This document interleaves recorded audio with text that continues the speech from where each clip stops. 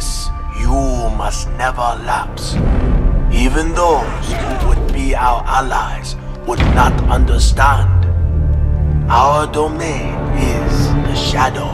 Stray from it reluctantly, for when you do, you must strike hard and fade away